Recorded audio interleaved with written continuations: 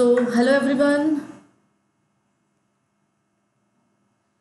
Uh, namaste, good evening, Sasrikal, Khamagani. Uh, so, who all are online? Let me check first. Am I audible, loud and clear? Then give me a thumbs up, everybody. Okay. Okay, so uh, again, my brief introduction. I am Dr. Cheshta Agarwal.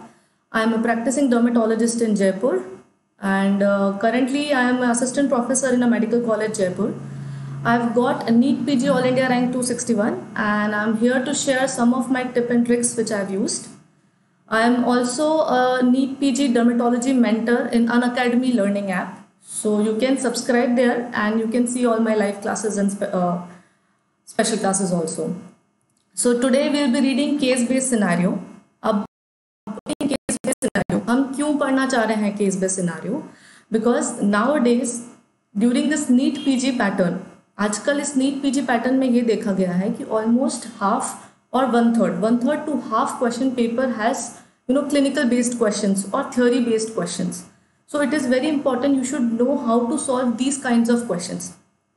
Question are easy question simple ही होता है. But because of the case history and little bit you know background is given so people find it lengthy and difficult to solve तो मैं आज आपको बताऊँगी मैंने अपने exam में क्या टिप्स एंड ट्रिक्स यूज़ करे to solve this NEET P G clinical based question and trust me the method has work so as I got good rank so don't worry about it so what should be the trick so hello Lovely hello Patel Meet hello A T P hello everybody so, what are what were my tricks मेरे tricks क्या थे? First is read the question properly सबसे पहले we have to read the question properly ऐसा नहीं कि हमने जल्दीबाजी में क्वेश्चन को फटाफट पढ़ा और हमने कुछ इंपॉर्टेंट चीज़ें मिस कर दी. We can not take risk to miss any part of the question so first point is read the question properly second is split the question in parts question को parts में splits करा जाए.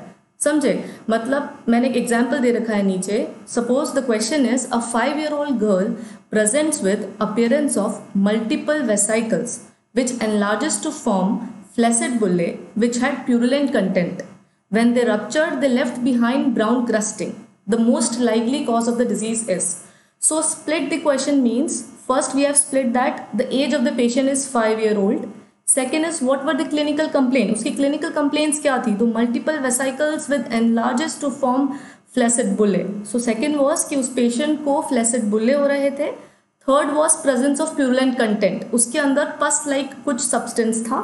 And the fourth point was after rupture they were leaving some brown crusting okay so we have split the question so second trick is splitting the question hello Prateek hello Subu hello everybody so third point is from which topic the question belongs so after splitting the question you have to think that this question belong from which topic fourth point look at the options क्या होता है कई बार सिर्फ़ question पढ़ के हमें नहीं समझ में आता कि क्वेश्चन में वो क्या पूछ रहे हैं या फिर क्वेश्चन किस टॉपिक से लिया गया है कई बार बहुत डिफिकल्टली फ्रेम क्वेश्चन भी होते हैं उन केसेस में हमें क्या करना है we have to look at the options options में भी कई बार इतना क्लू दिया हुआ होता है कि आप उसके थ्रू भी आप क्वेश्चन सॉल्व कर सकते हो। ठीक है ना? It it is not possible for everybody to know everything तो आपको कुछ तरीका आना चाहिए क्वेश्चन को सॉल्व करने का।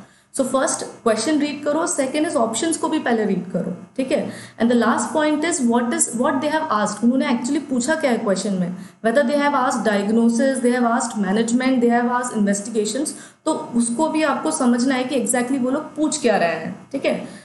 So we'll start with the question. Uh, it is the same question that a five-year-old girl presents with appearance of multiple vesicles which enlarge to form flaccid bullae, which are purulent content. When they rupture, they leave behind brown custing. And the most likely cause of the disease is the four options are autoantibodies against the hemidesmosomal component. Second is autoantibodies against the desmosomal component. Third is linear deposition of IgA at the dermoepidermal junction. And fourth is infection by Staphylococcus aureus. So, can anybody answer this question? Uh, yes, tell me the answer. Yes, uh, Dilpreet, you are right. The option, uh, you have right. Anybody else?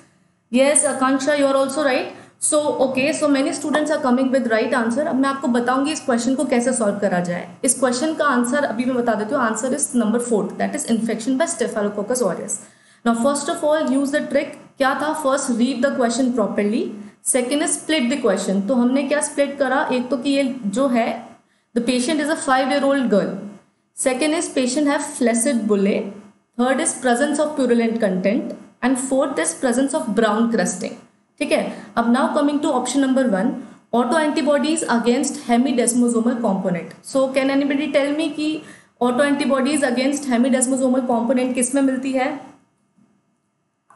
Tell me it is seen in whom So, it is seen in bullous pemphigoid. The autoantibodies against the hemidesmosomal component हमें किसमें मिलती है? Bullous pemphigoid में मिलती है। तो bullous पैम्फिगोइड के clinical features हमें सोचने हैं। फ़र्स्ट ऑफ़ ऑल ये पेशेंट जो है, ये फाइव ईयर ओल्ड गर्ल है। बुलस मैम्फिकॉइड में यूजुअली एक एडल्ट या फिर एक एल्डरली इंडिविजुअल होता है पेशेंट सेकेंड इज़ इसमें है फ्लैसेड बुले बट बुलस मैम्फिकॉइड का जो पेशेंट होता है, उसके अंदर we find tense bullae why we have tense bullae because the pathology lies below the basement membrane okay so it should be a elderly individual with tense bullae okay so the option first is wrong Now second option that is autoantibodies against the desmosomal component. It is present in pemphigus vulgaris or pemphigus group of disorders.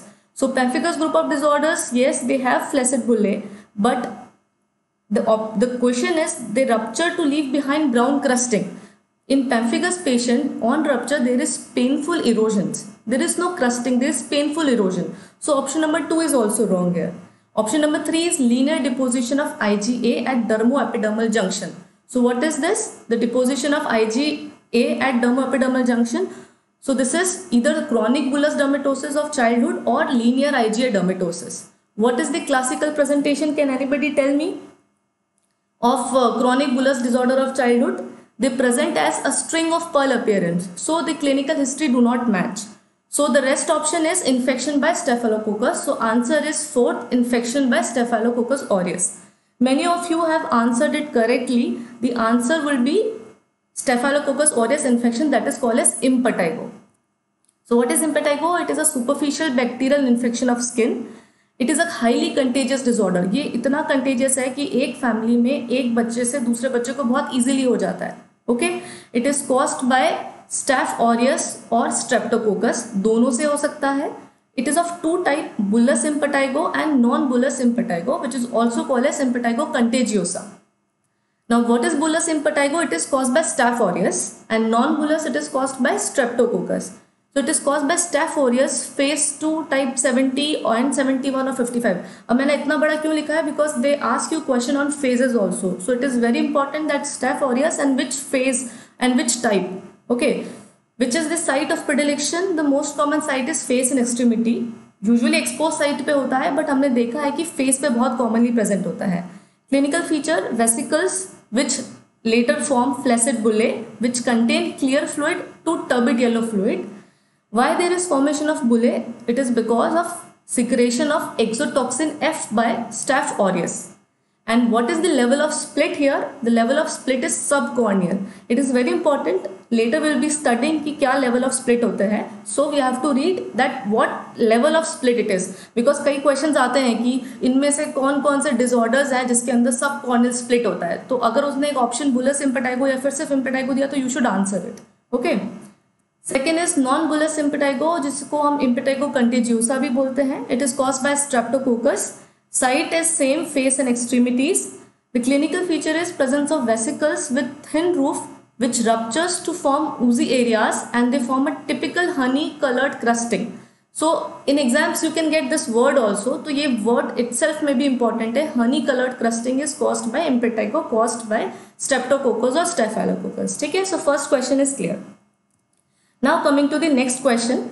A 55 year old female presented with discoloration, thickening and tunneling of two fingernails and one toenail. Which of the following will clinch the diagnosis? The option is wood slam, gram stain, slit skin smear and KOH mount.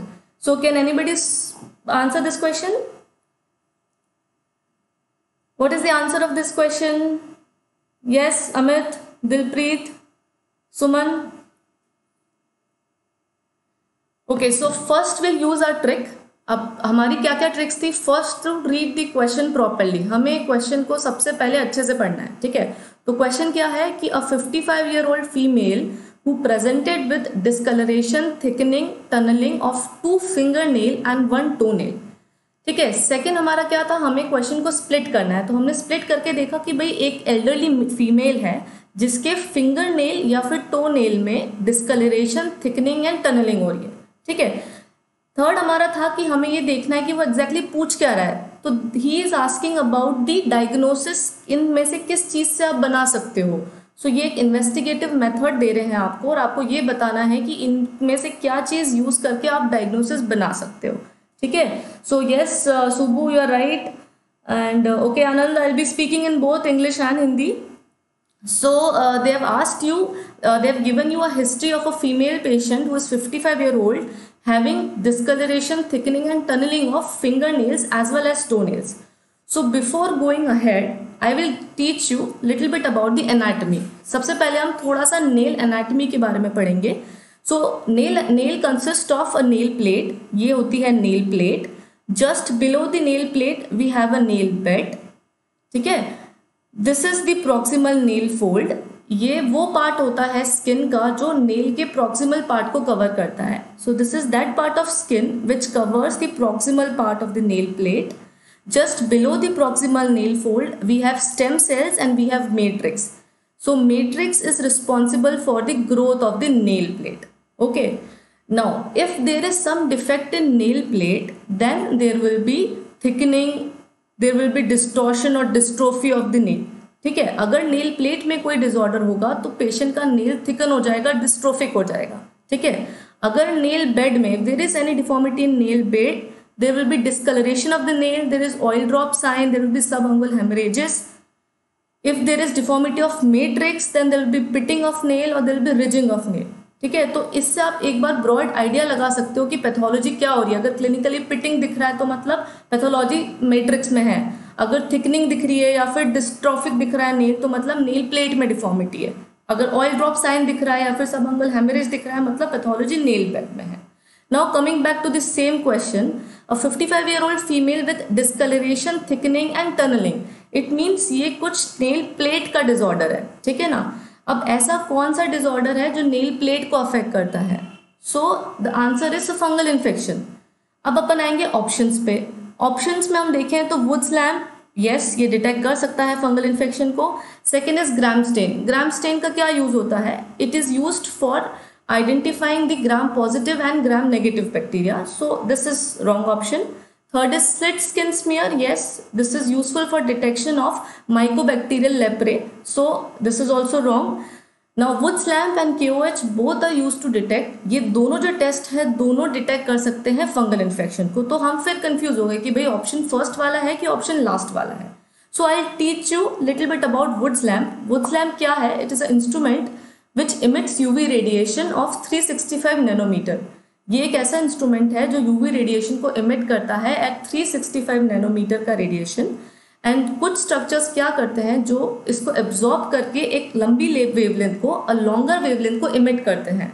This is call is fluorescence so it is property of some of the micro organism to absorb the UV radiation and to emit a longer wavelength that is a visible light this phenomena is call is fluorescence so the dermatophytic infection which is cause by microsporum species causes fluorescence and that is detected in wood's lamp तो जब भी कोई डर्मेटोफिटिक infection Microsporum species के द्वारा करा गया होगा तो उसमें हमें वुड्स लैम्प में हमें कलर नज़र आएगी। तो क्या ये आंसर है यहाँ पे?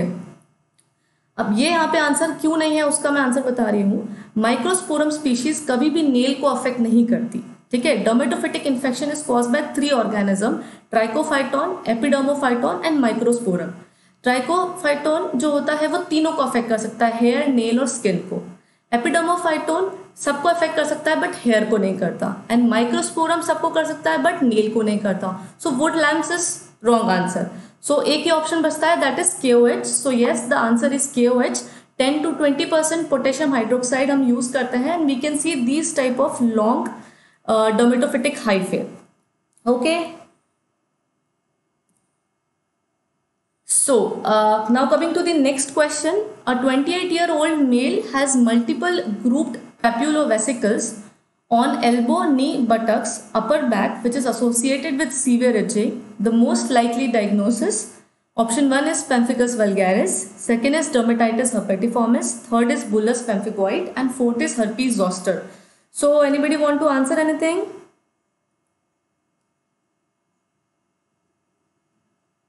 Okay, Suman, you are right. Okay now will use the same trick हम हमारा वही ट्रिक यूज़ करेंगे. First will read the question properly हम सबसे पहले क्वेश्चन को अच्छे से पढ़ेंगे. A twenty eight year old male has multiple grouped papulovesicles on elbow knee buttock upper back associated with severe itching second is हम question को स्प्लिट करेंगे. क्वेश्चन को स्प्लिट करके हमें पता लगा कि भाई एक twenty eight year old male था जिसको मल्टीपल ग्रुप्ड पेप्यूलो वेसिकल्स थे ठीक है ना? हर क्वेश्चन में क्वेश्चन में, हर लाइन में कुछ इंपॉर्टेंस है। एक 28 साल का आदमी है जिसको ग्रुप्ड वेसिकल्स है and the site is elbow knee buttocks and upper back and fourth is it is associated with severe itching वो बहुत ज़्यादा इचिंग के साथ एसोसिएटेड है। So now coming to the option third था हमारा ऑप्शन पढ़ना। So option is first pemphigus vulgaris so pemphigus vulgaris में हमें किस टाइप के लीजन मिलते हैं? है ना? उसमें हमें मिलते हैं डिस्क्रीट फ्लैसिड बुले तो ये तो बिल्कुल ही गलत हो गया because here we are finding multiple grouped vesicles so option one is wrong ठीक है now coming to option number three bullous pemphigoid bullous pemphigoid have discrete tense bullae so that is also wrong option number two that is dermatitis herpetiformis and herpes zoster दोनों में हमें group lesions मिलेंगे papules भी मिल सकते हैं vesicles भी मिल सकते हैं. ओके okay, तो हम आगे कैसे बढ़े? So let's discuss we have split the question and the history was multiple grouped papulovesicles So options can, the correct answer can be dermatitis herpetiformis as well as herpes zoster. अब हमें देखना है कि डिस्ट्रीब्यूशन क्या है। तो question है कि पेशेंट को एल्बो पे नी पे बटक पे एंड अपर बैक पे हो रखा है। ठीक है? तो हमने देखा कि उसको एक्सटेंसर सरफेस पे है। अगर एक्सटेंसर सरफेस पे है तो आंसर क्या हो जाएगा? डर्मेटाइटिस हर्पेटिफॉर्मिस और अगर यही चीज़ एक सिंगल डर्मेटोम पे होती और एसोसिएटेड होती विथ सीवियर पेन या फिर सम टिंगलिंग सेंसेशन तो आंसर हो जाता है इसका हर्पीज जोस्टर ठीक है? Okay so now coming to the next question okay I am see I can not speak exclusively in Hindi और exclusively in English because there are many students want in Hindi and there are many student want in English I try to speak in both the languages okay?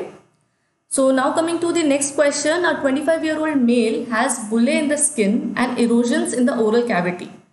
Histopathology shows intraepidermal acantholytic blisters the most likely diagnosis is option 1 is bullous pemphigoid, second is erythema multiforme, third is dermatitis herpetiformis and fourth is pemphigus vulgaris.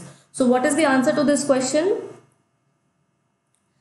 Yes, Dilpreet, you are right. Anybody else wants to answer this question? Yes, Suman, you are also right. Okay, so what is the trick? Read the question properly. So a 25 year old male has bullae on the skin and erosion in the oral cavity. Histopathology show intraepidermal acantholytic blister. Now we will split the question. हम question को split करेंगे and it is a 25 year old male. Okay, so first is a 25 year old male. Second is presence of bullae on skin and there is presence of oral lesions also. Third point is histopathology show intraepidermal acantholytic blister. So now we'll use our third point of our trick. We will read the options. First is bullous pemphigoid. As we have discussed, bullous pemphigoid, the lesion will be tense bullae first of all. Second, elderly individual. And third, the oral lesions are very rare.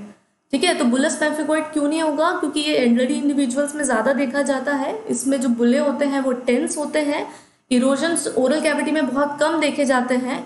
And histopathology intraepidermal acantholytic blister no bullous pemphigoid it is a sub epidermal sub just below sub epidermal pathology that is below the basement membrane so intraepidermal acantholytic blister is not present so option A तो गलत हो गया. Option one is wrong second is erythema multiforme है usually erythema multiforme में typical lesions are targetoid lesions there can be oral erosion there can be bullae in the skin histopathology erythema multiforme usually present with sub epidermal lesions they are not intraepidermal so option two is also wrong option three dermatitis herpetiformis it is also an example of sub epidermal disorder and here in dermatitis herpetiformis lesions किस तरीके के मिलते हैं? We find multiple vesicles over the extensor surface so option 3 is also wrong so the correct answer is pemphigus vulgaris so yes many of the students Gagan Varan is also uh, answered it right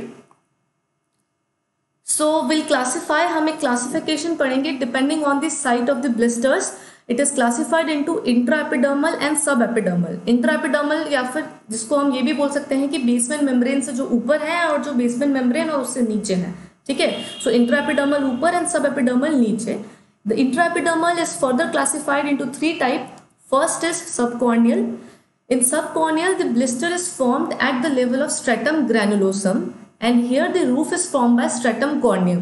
इधर blister कहाँ बनता है? Stratum granulosum की level पे जिसकी roof कौन बनाती है? स्ट्रेटम कॉर्नियम एग्ज़ाम्पल है impetigo we have just read it and second is pemphigus foliaceus second is spinous cell layer अगर ब्लिस्टर स्पाइनस सेल लेयर में होता है तो what is the example the example is viral blisters seen in herpes simplex and herpes zoster and second is friction blister third is supra basal this is also an example of intraepidermal here the blister is present above the basal cell layer and the intact basal cell forms the base of the blister ठीक है?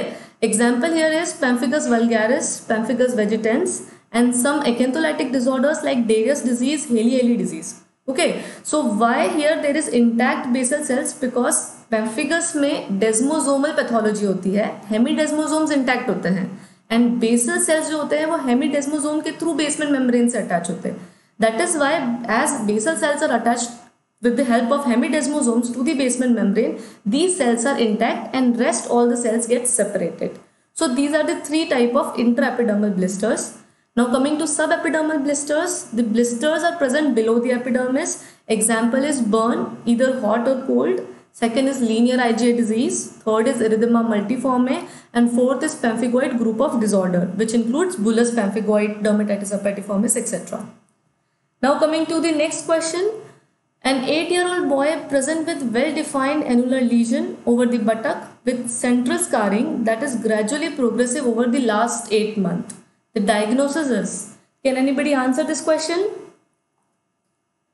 Yes, Rajvi, can you answer this? Amit? Yaman, Suman.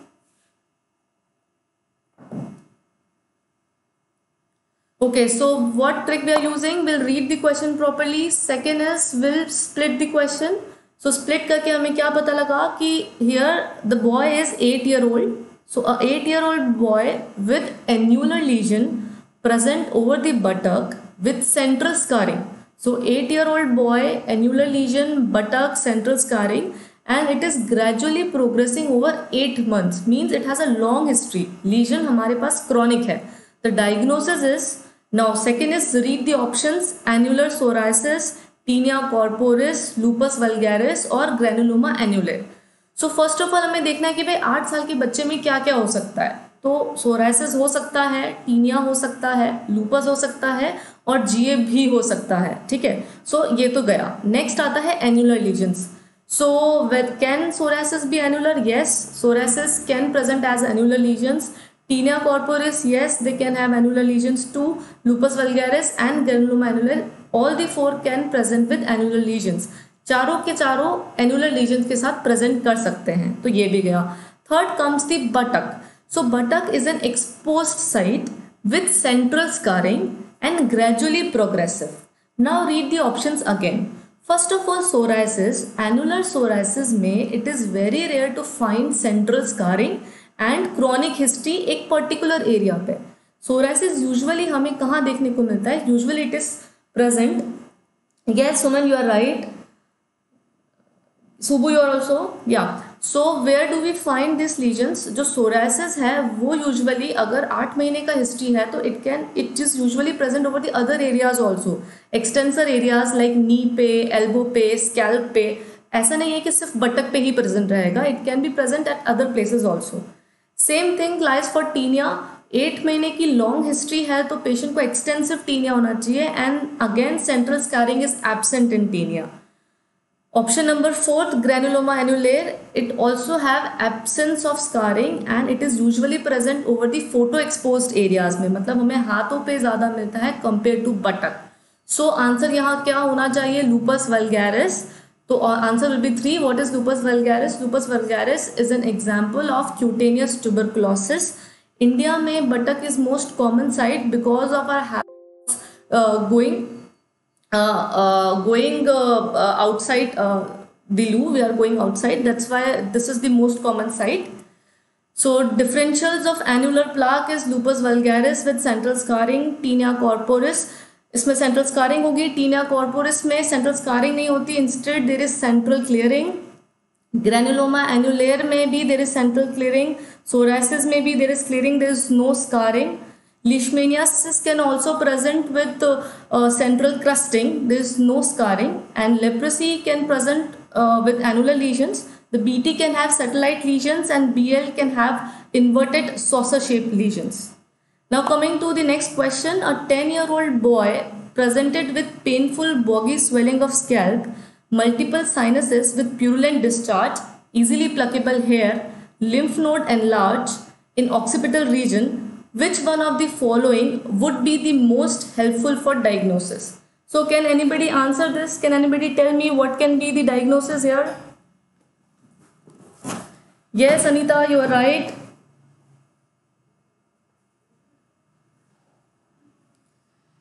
Okay so will again will split the question a ten year old boy एक दस साल का बच्चा है जिसको painful boggy swelling हो रखी है स्कैल्प में which has purulent discharge easy pluckable hair and lymph node enlargement देखा गया। सेकेंड है हम ये सोचेंगे भाई ये क्वेश्चन कहाँ से आया हुआ है? एक दस साल के बच्चे जिसको स्कैल्प में कुछ लीजन है क्या ये कुछ इन्फेक्टिव पैथोलॉजी हो सकती है? यस yes, हो सकती है। Now third is read the option biopsy bacterial culture K O H patch test तो ये क्या हो सकता है? The answer can be K O H as it is an example of fungal infection of the scalp tinea capitis So tinea capitis, the most common, it is seen in prepubertal children that is 3 to 14 years. It is caused by trichophyton species and microsporum species. I have already told you that epidermophyton nahi cause karta hai because it do not affect it. Next is it is of two type हमें ये दो तरीके का मिलता है एक्टोथ्रिक्स and एंडोथ्रिक्स एक्टोथ्रिक्स में क्या होता है जो स्पोर्स होते हैं वो बाहर की तरफ़ ग्रो करते हैं see look at this diagram. The spores are growing outside. So what they do they just split the hair.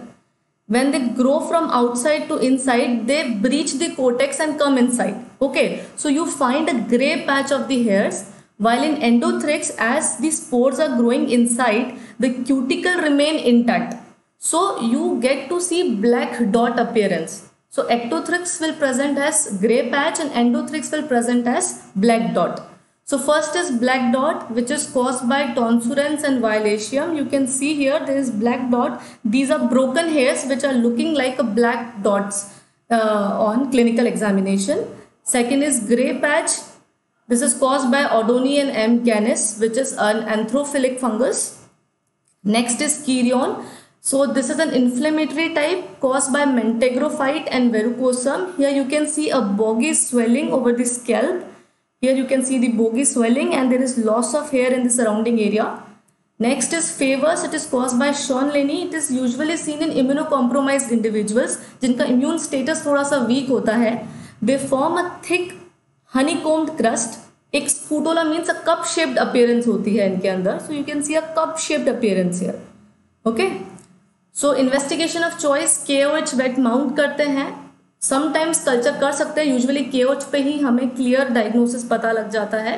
Culture material हम क्या क्या यूज़ कर सकते हैं? S D A that is Sabouraud dextrose agar use कर सकते हैं। डोमेटोफाइड test medium use कर सकते हैं। माइकोसील अगार यूज़ कर सकते हैं। Treatment the drug of choice here is griseofulvin so what is the drug of choice it is the griseofulvin Okay, so this was the last question which is discussed. Uh, we'll discuss more questions. They are discussed in my uh, live sessions or my special sessions जो मैं Unacademy platform पे लेती हूँ. You can subscribe. My referral code is chesskmc and you'll get an extra 10% discount. So one more notice I want to make today is tomorrow I'll be taking a live special class of one hour at 7 p.m. on my Unacademic app On basic dermatology. तो कल एक सात बजे basic dermatology पे class लेंगे तो आप please ज़रूर आएँ और थोड़ा सा बेसिक डर्मेटोलॉजी को पढ़ के आएँगे तो it will be more easy for us to do it and don't worry about the case based scenario they are very easy subsequently जो जो अपन पढ़ते जा रहे हैं, उस पर अपन केस बेस्ड सिनारियोज कर लेंगे तो हमारा ये चीज़ सॉल्व हो जाएगा okay thank you bye bye will see you you tomorrow at 7 o'clock. Bye.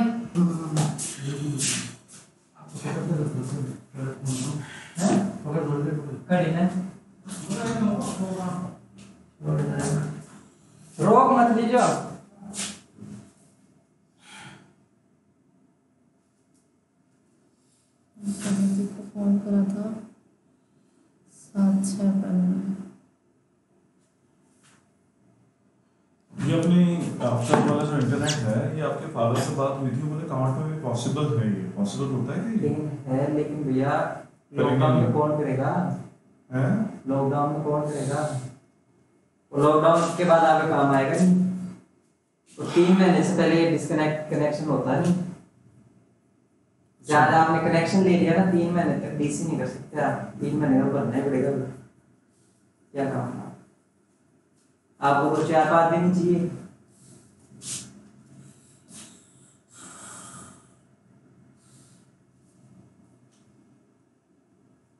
हाँ पापा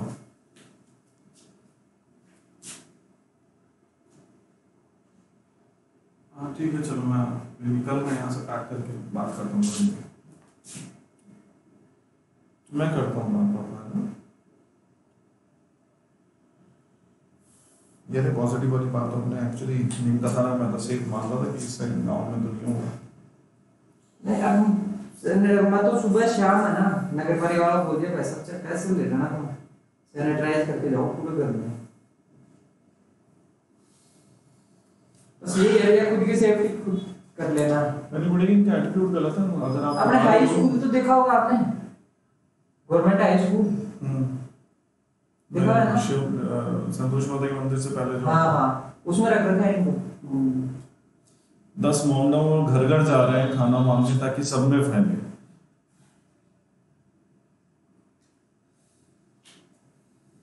गणेश्वर में तो पूरे बैरिकेड्स लगा दिए लोगों ने ही। बल्ली नहीं आते अपने बल्लियों से बना के रोड जाम करती है वही नहीं आना चाहिए पहले लेडीज़ कहती थी ना कि बोले छूने से ही बोले बीमारी आ जाएगी इसको वही आ गई अरे हाँ बट गड़बड़ी हो गया आज तो बड़ी।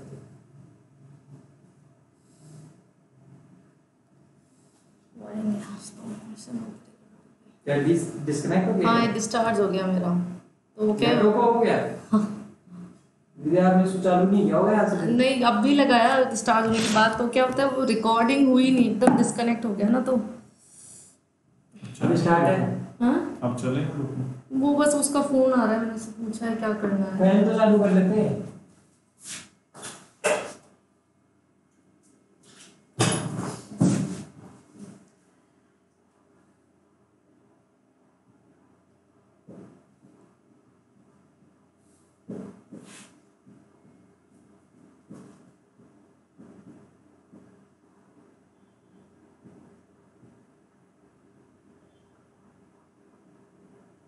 अब परमानेंट चाहिए ना जब तो उधर करवाने में फ़ायदा है कनेक्शन हमारे नहीं चाहिए भैया इस लॉकडाउन पीरियड के लिए चाहिए। बाकी तो मेरे पास जयपुर में है ही।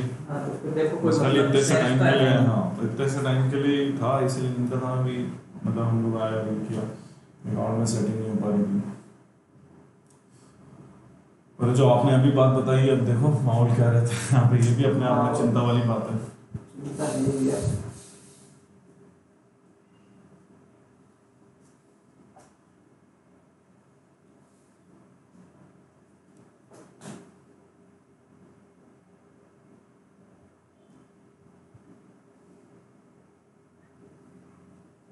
चिंता नहीं है मेरे पास पुलिस प्रशासन थोड़ा ठीक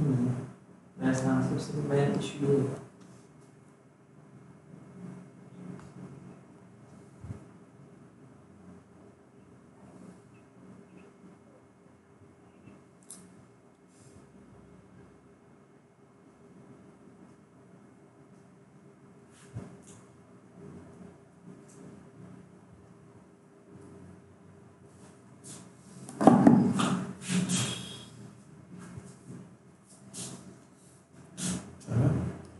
मैं सबसे मेन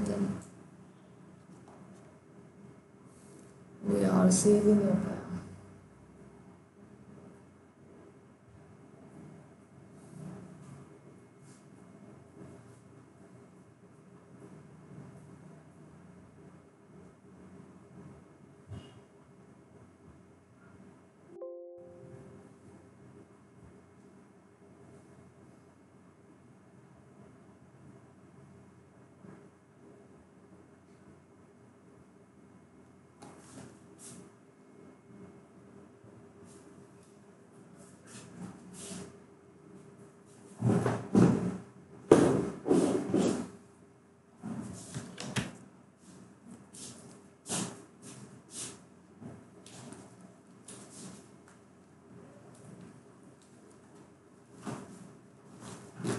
嗯。